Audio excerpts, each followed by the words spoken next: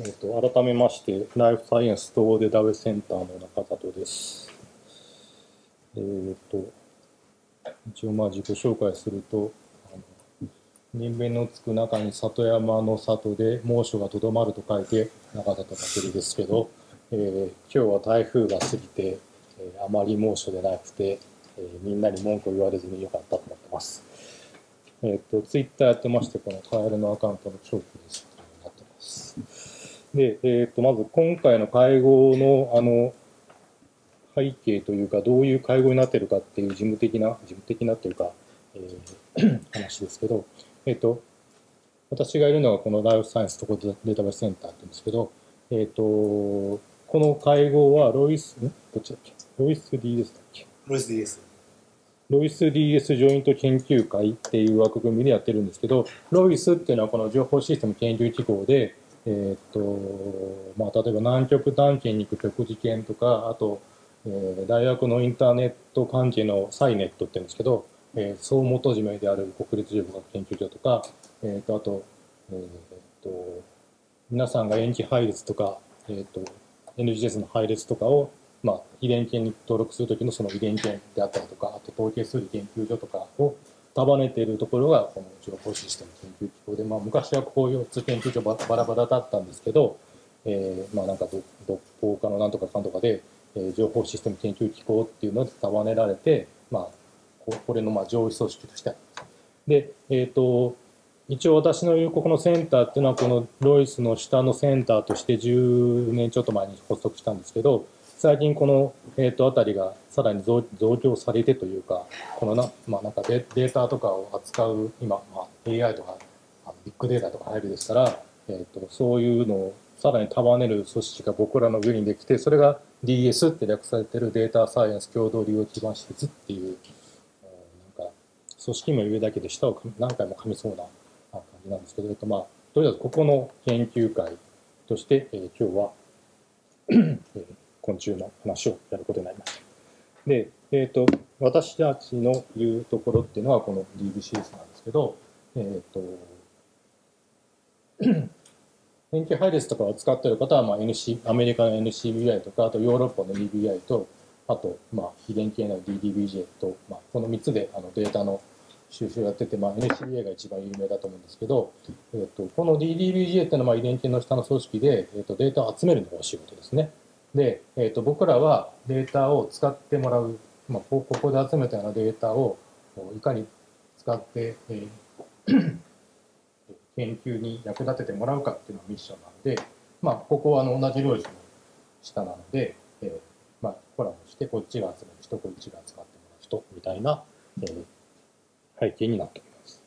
で、えーと、このプロジェクトが、えーとライフサイエンスのなんだデータベースをその流通を良くするっていうのでやってるんですけどもともとそのまあ2000年ぐらいに、えー、当時ミレニアムプロジェクトっていうのがあって、えー、そうすると文科省とかでゲノムを読むぞって言って億単位のお金がバンバンついた時代が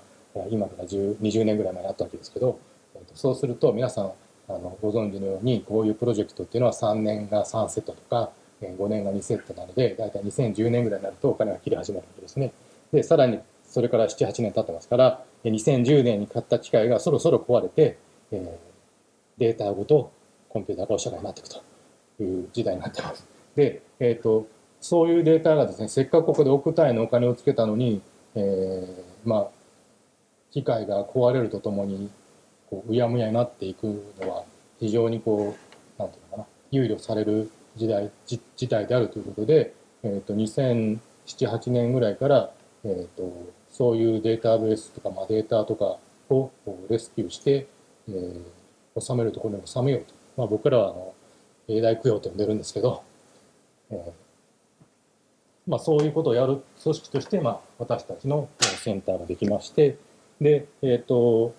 まあ、こうやって2007年ぐらいからやってます。あと、えっ、ー、と、いわゆる僕らのやってる仕事というのはバイオインフォマティクスと呼ばれる仕事なんですけれども、えーと、この JST のところで同じくバイオインフォマティクスをやっている BIRD という事業があったんですけど、えーと、財務省からするとバイオインフに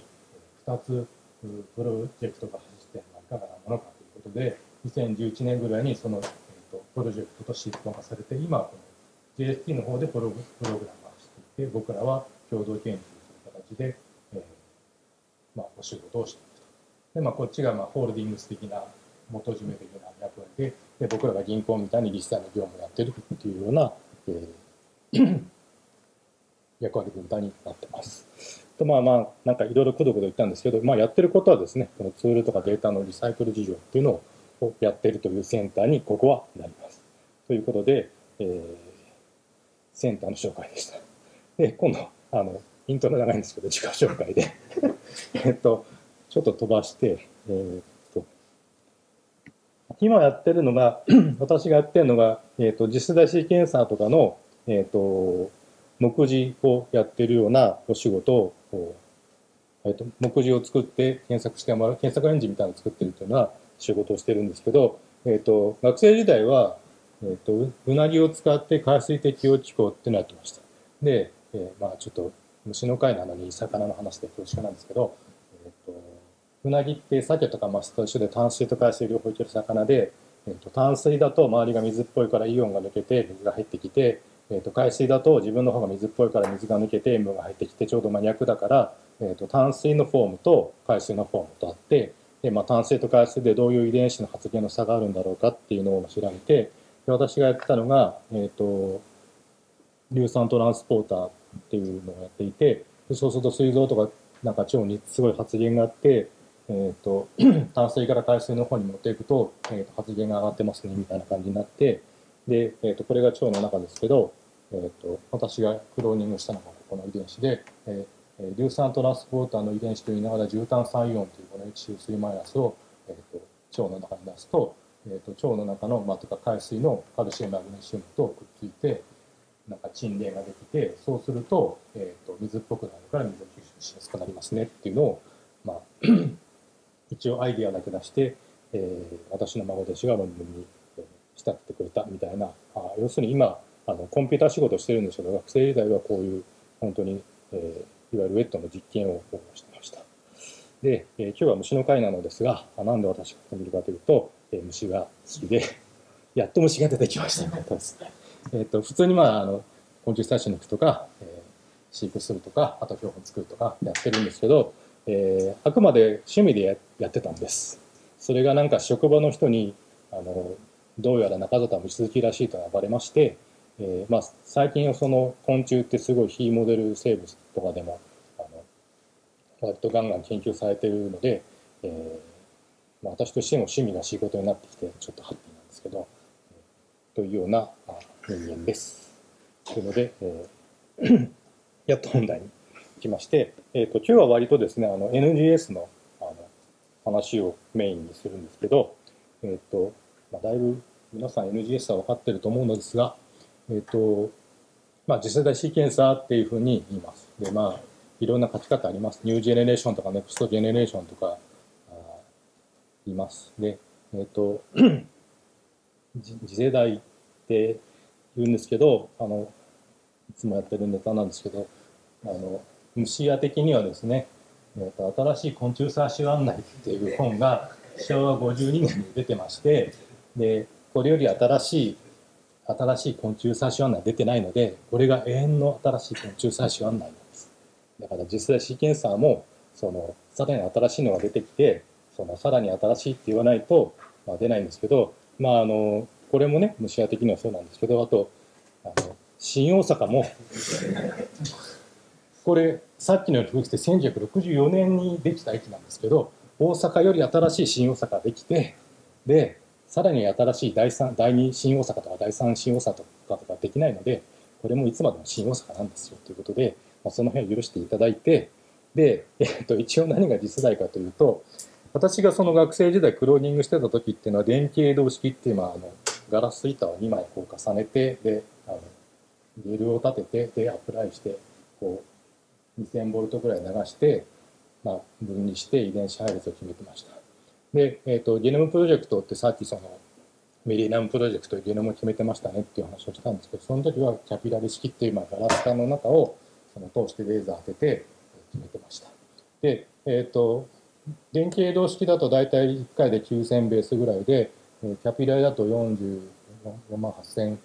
ぐらい出たんですけど、えっ、と、次世代シーケンサーは、これのその、具体的に何倍だとか忘れましたけど、かなかなり大きな、えー、とこっちは例えば48キロなのに15ギガっていう、もうメガも飛んでギガまでいっちゃうようなあの仕組みになってます。これは、えっ、ー、と、仕組みとしてはガラスの板に、その、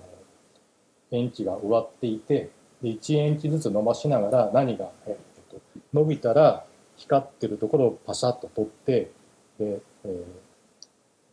伸ばすためにパシャ伸ばすためにパシャとしていくと。で、えー、とこっちの電気エイドとかキャピラリ式っていうのは一個一個長く読むとか、まあ、こっちは、えー、と電気エイドだとまあ750とかキャピラだと500ベースぐらいですけどこっちはまあそれより、まあ、今だいぶ長くなって300とか読めますけど、えー、と基本的には短いものをえーと、並列に、並列にってガラス板に、えーと、100万個とかこうスポットがあって、で、それの、えーと、配列がどうなってるのかっていう、えー、と1個長く読むのではなくて、短いのをたくさん読むという形式で、えー、読んで、まあ、こういう15ギガっていう、えーまあ、演技数を出してますというところで、えー、と仕組みが全然違うので、まあ、次世代シーケンサーっていうような名前がついてます。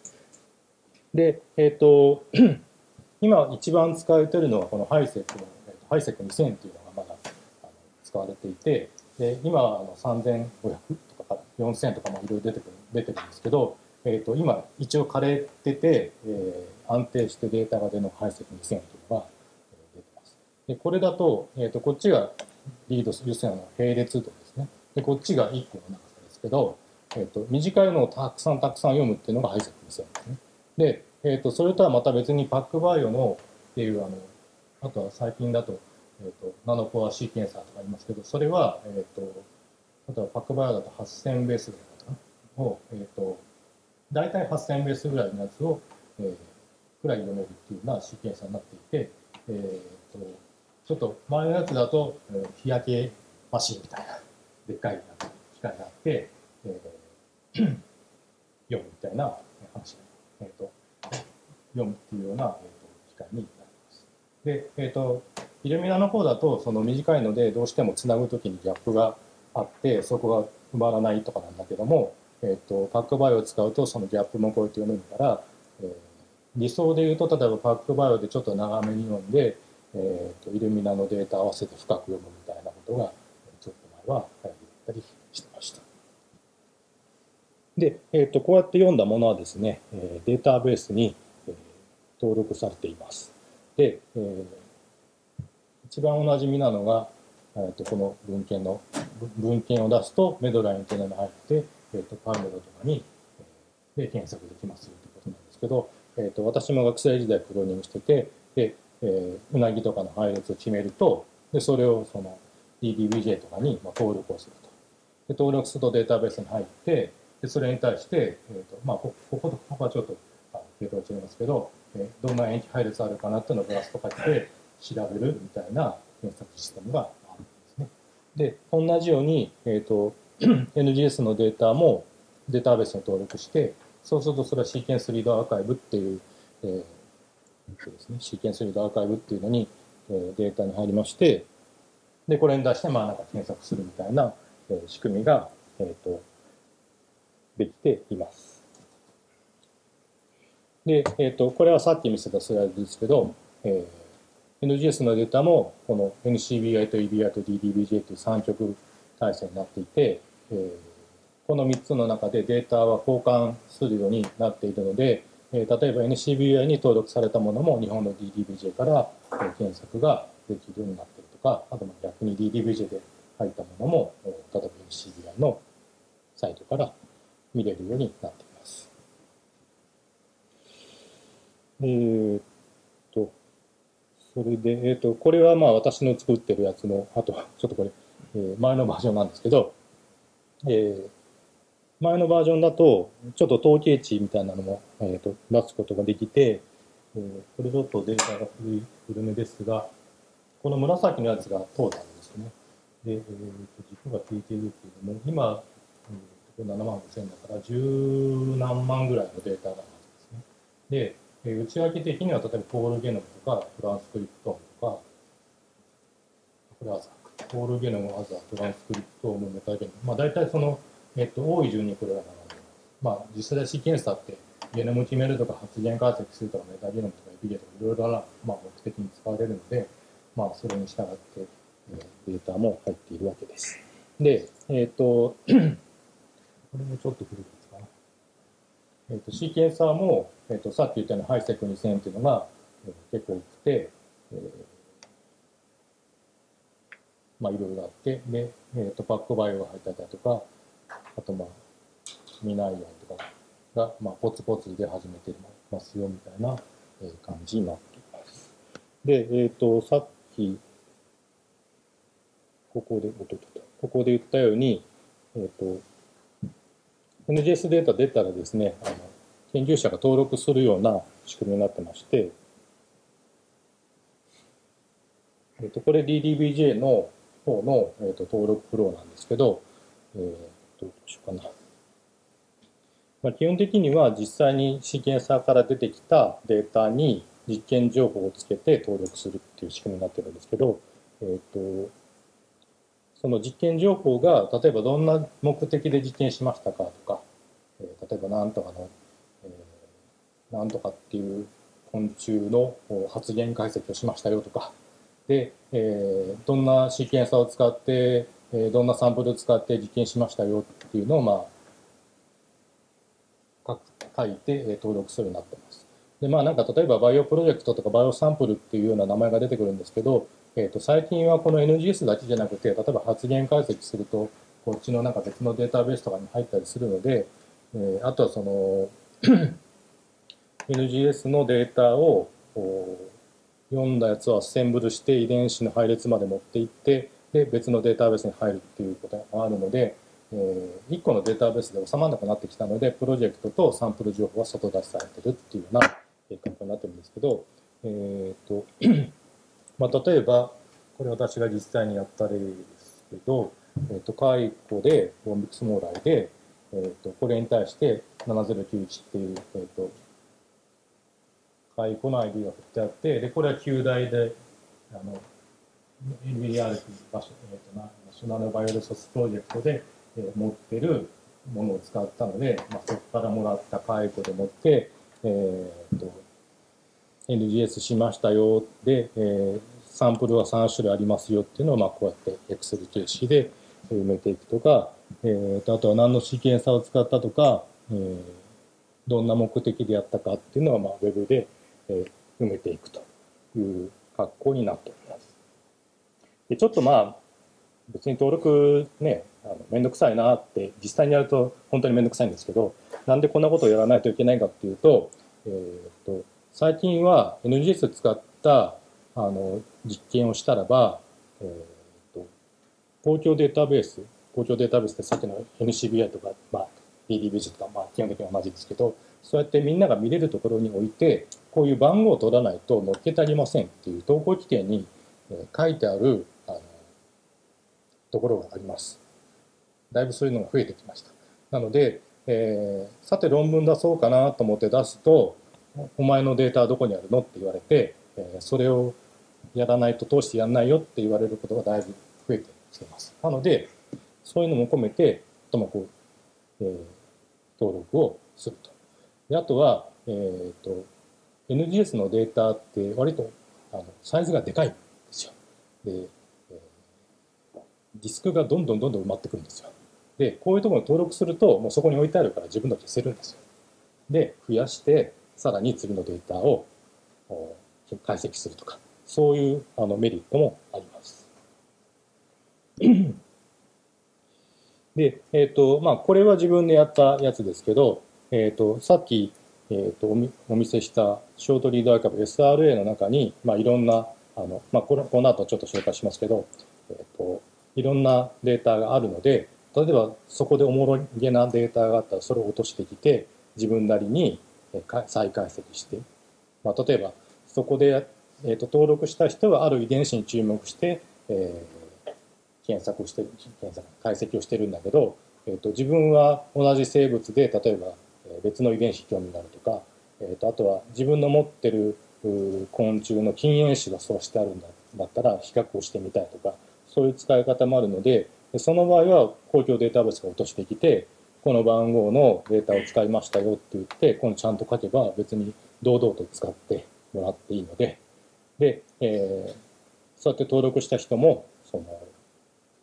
側もですね、あの、この人のデータを使ってあげましたよと。で、論文も出てたら、その論文もサイトしてあげて、こういう論文で出てたこの論文を使いましたよっていうと、まあ、その人のその引用度も上がるわけで、まあ、プレゼンスも上がるということで、まあ、ちゃんとこうやって、他の人もデータもあの明記してリスペクトしてあげると堂々と使っていいという感じになっております。で、えー、と実際の解析の方ですけど、まあ、こうやって自分でやるとか、であとはデータベースを落としてきまして、で、えー、普通はまあクオリティチェックをかけて、で、え、ー、と、このスライドは私、他のところで講習会とかあのやるときに使うスライドなんですけど、そうするとまあ、普通は人とかマウスとかの人も多いので、そうすると人とかマウスとかはゲノムがありますから、えー、とゲノムとかにマッピングをして、えー、発言の解析しますよとかいう感じになります。あとまあ、えー、と医学部だと,、えー、とさらに精度を上げてスニップ解析をしたりしますよってなるんですけど、えーまあ、今週の場合は非モデルなので、まあ、この話はちょっと後でしますけどゲノムが大体決まってないとかが 結構あるので、まあ、デノボでつないだりとか、えー、まあ公開されている場合はマッピングをして、発言解析するとかゲノムやるとかっていうような仕組みになっていてでその時に、えーと、デノボでつなぐんだったらトリニティとか、えーと マッピングというかやるときはハイサと2とか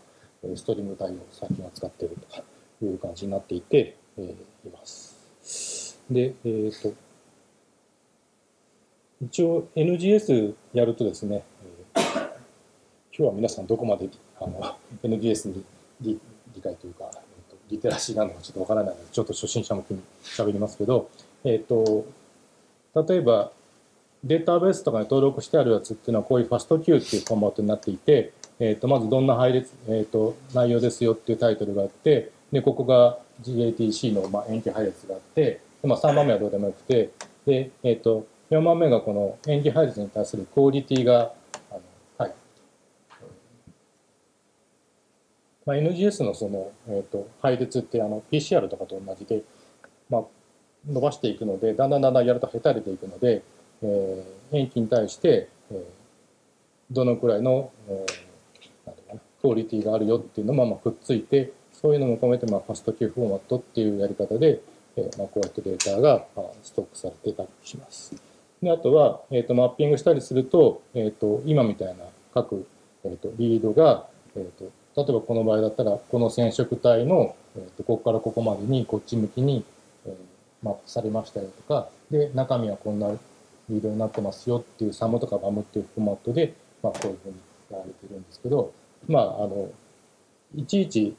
逐次人が見る必要はないわけですけど、まあ、中身としてはこういう割と人でもあのシンプルに理解できるような、えー、とフォーマットで、まあ、やり取りがされていると。あとは、えっ、ー、と、このサムっていうのは人で、人が読めるやつなんですけど、えっ、ー、と、機械で扱いやすいようにバイバイナリーに、まあ、機械用に翻訳したバムっていうフォーマットも、えー、使われてますよみたいな感じになっていて、まあ、例えばこういうのを下して、えっ、ー、と、ゲノム上にこの辺にありましたよっていう、これ IGV っていうツールなんですけど、可視化したりとかいうような格好になっていて、で、えっ、ー、と、まあ、例えばなんか発言解析だったらば、え、ー、と、出てきたものに対してブラストで、えー、なんか、この、このトランスクリプトじゃない、スキャッフォルドか。スキャッフォルドがなんかおもおもろげだなっていう時に、その正体を知るために、え、ー、と、ブラストでどの遺伝子にヒットするかとか、え、ー、と、あとハマーとかで、えー、どんなドメインがあるのかみたいな解析を、まあ、機能的な解析をするみたいな、感じの、えー、フロになって、えーと、NGS の解析をするというような、えー、格好になっております。で、えーとまあ、ここまでがその NGS のジェネラルなものなんですけど、そしたらじゃあ昆虫の方はどうなのかっていうのを、えー、若干調べてきたので、えー、その話もしたいんですけど、えっ、と、私がやってるその NGS の検索のやつで、えーと、これまああの前のバージョンのやつですけど、えー、生物種からの原作をちょっと、えー、賢げにっていうのかな？あのやるみたいな、えー、ものを載っけてますけど、えーと、例えばミツバチって聞くと、まあ、データベースって素直だからミツバチって聞くとミツバチって返ってくるんです。それ当たり前なんですけど、えー、とでもミツバチの中には西洋ミツバチと日本のミツバチとかがいたりするわけです。で、えっ、ー、と、でもデータベースは素直だから、ミツバチって聞くと、西洋もあの日本も分からずにミツバチのやつだけ出してるんですよ。だから、えっ、ー、と、西洋も日本のも出しなさいよって、下の方も見なさいよってチェック入れると、えっ、ー、と、西洋の日本のやつも出るみたいなものを作ってます。で、あとは、えっ、と、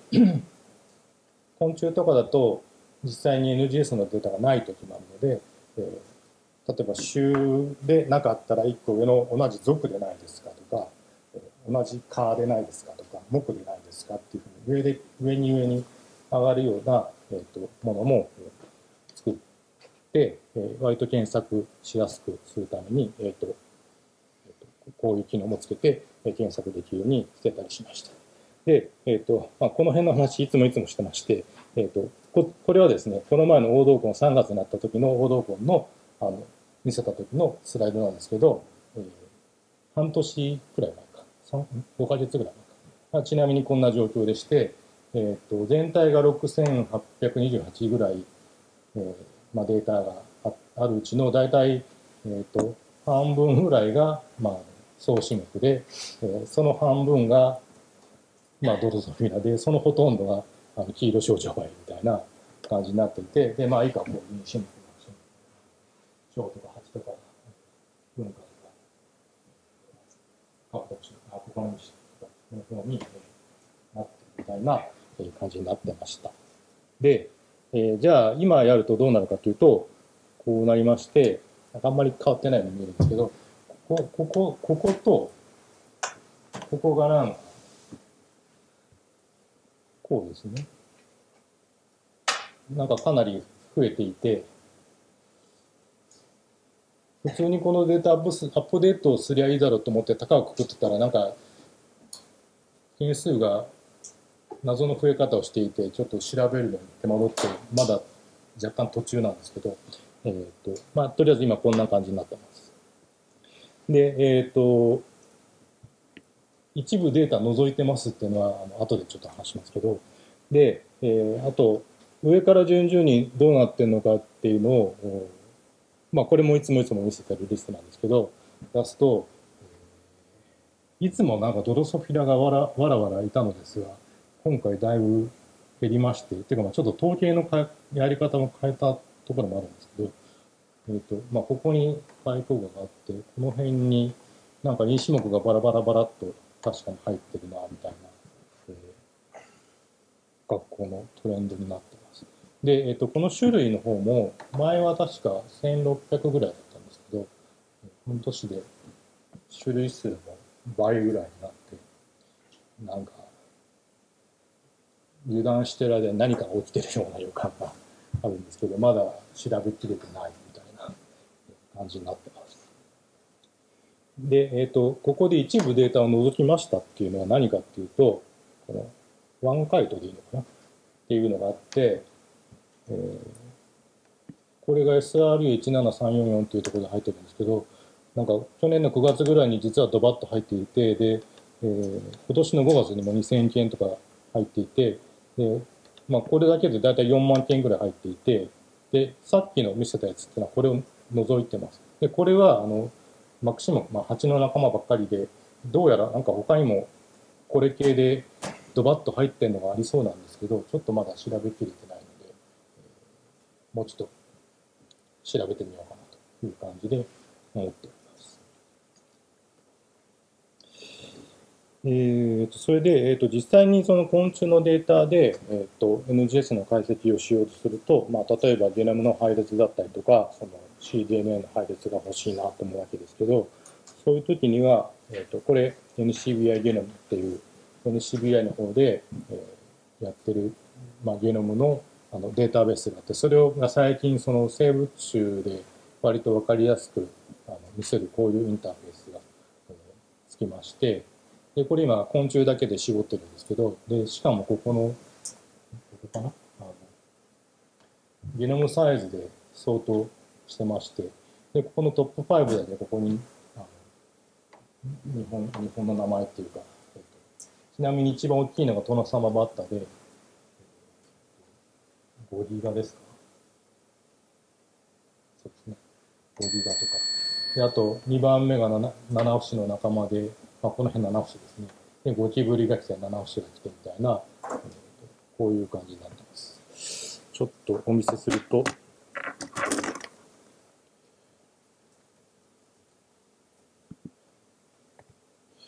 MCBI の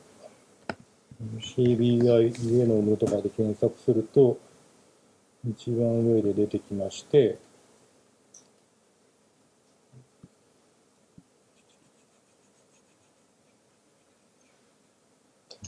なんか思う大丈夫か。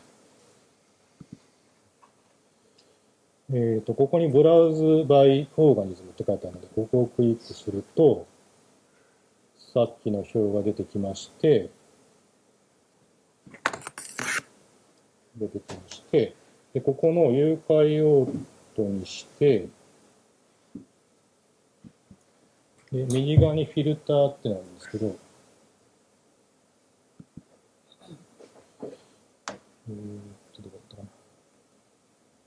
こ。のサブグループの中に insect っていうのがあって、ここをクリックすると、昆虫だけになります。今、アルファベット順に並んでるんですけど、えー、それで、そうですね。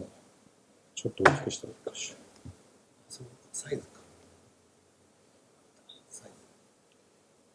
えー、と今、アルファベット順に並んでますけど、右の方に行くと、サイズここにサイズってなるので、まあ、例えば、ここをクリックすると、小さい順ですね。で、これで大きい順。こんな感じで、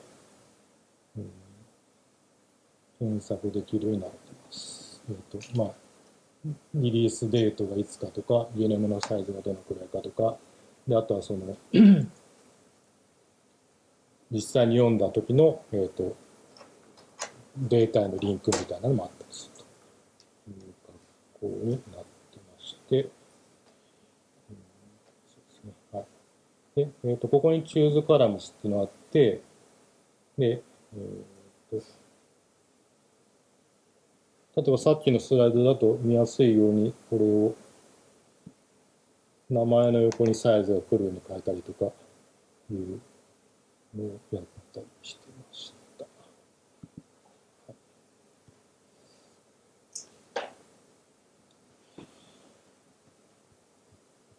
まあ、いろんな昆虫のゲノムサイズを手早く知りたいとかいうときは、これが割と役に立つかと思います。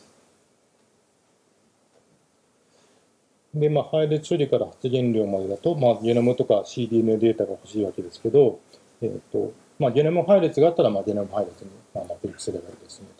で、最近、えー、えー、と、ちょっと前だと、これのほか、えっ、ー、と、これができないときは、えっ、と、もうデノボでつなぐトリニティっていうのがあって、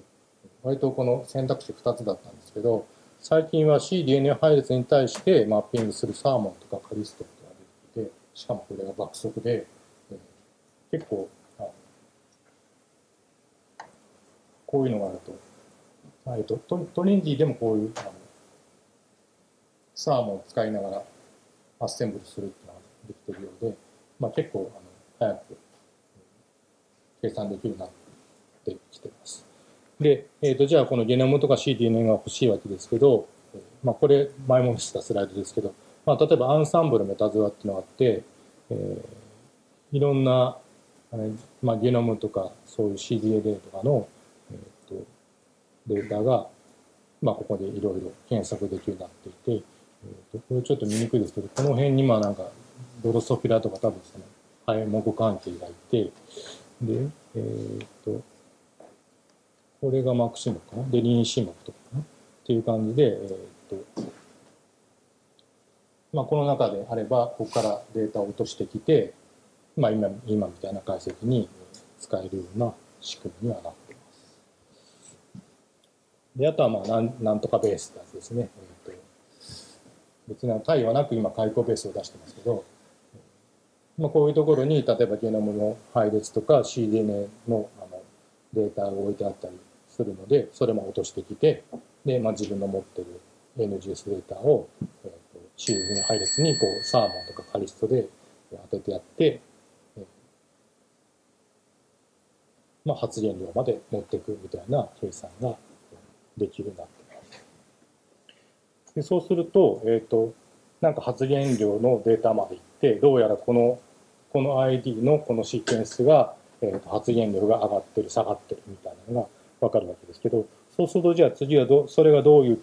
まあ、機能だったりとか、どういう遺伝子なんだろうっていうところになるわけですけど、えっ、ー、と、まあ、一番やりそうなのはブラストで、まあ、そのシーケンスを、まあ、ブラストをかけて何何の遺伝子に当たるのかなっていうのを、まあ、検索するという感じになるわけですね。でこれはあの NCBI のインターフェースで出してますけどあのまあ私これ Mac 使ってますけど、えっと、Mac とかだと、まあ、この中にブラストが入れられて、えー、でこれでブラストをかけられて、えっと、コマンドラインでババッチでというか大量にドバッとあのブラストをかけるということもできます。でそういう時にあの何に対して当てるかってなるんですけど、えーと、例えば NCBI のこのインターフェースのデフォデフォルトっていうか一番何も考えずにやろうとするとこの NR っていう、まあ、ノンリランナーですね、えー、に当たるになってます。でこれはあの一応全部入りっていうことになってるんですけどあの遺伝子の名前とかがノイジーだったりするのでなんか今更 NR っていうことをあのこの業界の人は言ったりします。で、えーと、また別にいろいろデータベースがあって、例えばこれ2番目だとレフリファレンスプロテインのレフシークって書いてますけどレフシークっていうのはこの後ちょっと話しますけど登録をまあきれいにしたもので、まあ、これは NCBI が作ってるもので、えー、これも遺伝子の名前がちょっと汚いという人もいます。で、えー、っと、これ下を見ると UniProt、Swiss-Prot っていうのがあったりしますけど、え、っと、これは割と遺伝子の名前が綺麗なやつになっていて、で、しかも、えっと、 UniProt には Swiss-Prot ってのと TrEMBL ってあるんですけど、えっと、スイスプロットの方は、えっと、一応人手でレビューされたものなので、えーと、中身も綺麗なんだけど数がちょっと少なめ。でこのトレンブルの方は、えーと、人がレビューしてないんだけどちょっとマイナーな生物とかマイナーな遺伝子も入っているっていうことになっているので、えーとまあ、この一応私がやるときはこのユニプロットを使ってで、まあ、どっちかにかければ当たるだろうということで、まあ、2つ足して、えー、1個のデータベースにしてどどれかに当たるようにブラストをかけたりみたいなことはやったり、えしました。であと,、えーと、ハマーってやつがあって、えーと、どんなモチーフがあるのかっていうのを探すやつですけど、えーと、Mac だとホームブリューっていういろんなあのツールを例えばこんな呪文でピロッと、まあ、普通はなんか早々としてきてコンパイルしてとかなんですけどえーと、マークだとホームブリューっていう仕組みがあって例えばブリューインストールハマーってやると、えー、もうこういうプログラムが入るので、えーと、あとはもうデータベースっていうかあのドメインのそのデータを作って、えー、こういうふうに投げるだけになってるんですけど、えー、例えばトリニトリニティの結果があってそれに対して、えーと、各々のあの配列にどんなドメインがあるのかっていうのを調べる、えーと、HMM スキャンとか、えー、とあとは、えーまあ、例えば、えー、さっきのなんとかベースとかから CD に落としてきて、えー、その中で目的のドメインがある配列だけ引っ張ってくるっていう HMM サーチっていうので、まあ、こんな呪文をやったりして、えーまあ、あるドメインを持ってる遺伝子だけ抽出するみたいな、えー、いうことをやったりしてました。で、あとはまあ個々の遺伝子まで落とし込めれば NCBI ジーンとかあとアンサンブルとかに行くとそのいろんな遺伝子の情報がまとめられてるんですけど、えー、とこの NCBI ジーンっていうのはどうやってできてるかっていうとあちょっと矢印書くんですけど、えっ、と、まず最初にジェンバンクとかエンブルとか DDBJ とか、まあ、私がその学生時代にやった感じで、えっ、と NCBI とか EBI とか DDBJ に塩基配置で登録します。で、そうすると、あの、ヌクレオタイドっていう はいはい。終了。もうあの、このあと2枚ぐらいで終わりです。えっ、と、ヌクレオチドっていうところが入るので、えー、入ります。で、昔はシーケンサーが、あの、何ベースって読めるところが少なかったので、ある遺伝子の頭の方だけとか真ん中だけとかお尻だけとかだったんですよ。で、それを例えば同じ遺伝子だったら1個の遺伝子にまとめて、えー、っていうのがこの Web で、今はもうフルレングス読めちゃうから、なんかこの辺のが綺麗さの違いだけなんですけど、昔はその場所場所が違ったのでっていうところがあって、まあ、こうこういうのになってます。この Ref スイークに対して、で、なんか GO とかデータベースのリンクっていうのがこの NCBIG っていう感じになっていて、で、えっ、ー、と、だから NCBIG に行って配列を取ってくると、まあ、普通に Ref スイークの、えっと ID がつくんですけど、こっちに行くと個々の遺伝子に対して、えー、どんなジンオントロジーの機能がついてますよとか、えーと、他のデータベースだとここに載ってますよっていうのが、まあ、ここで、えー、まとめられているような、えー、格好になっています。でえーと、ちなみに、えーと、参考のリソースで、えー、と NGS の解析は若干本が出てて、えー、とまず、えー、と実験、まあ、ウェットの実験もやる人にはこの次世代シーケンス解析ガイドっていうのがあります。であと,、えーと、データ解析の方はあのここに棒載せますけどボ野さんもやられたこのドライ解析教本で、えー、できるようになってます。であとそのいろいろプログラムを書けなきゃいけなくて、えー、辛いなというところがあるんですけど、えーと、遺伝研の方で、えーと、DDBJ か遺伝研の DDBJ で、えーと、パイプラインをあのウェブから使えるのがあるので、えっ、とアカウントを作る必要があるんですけどここにデータを投げて、えーいろんなツールをかけるというようなことができるような仕組みになっています。以上です。